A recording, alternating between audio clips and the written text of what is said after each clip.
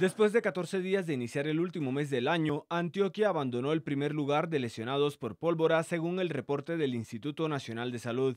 Ahora Valle es el departamento con más casos con 24 reportes y Antioquia lo escolta con 23 afectados.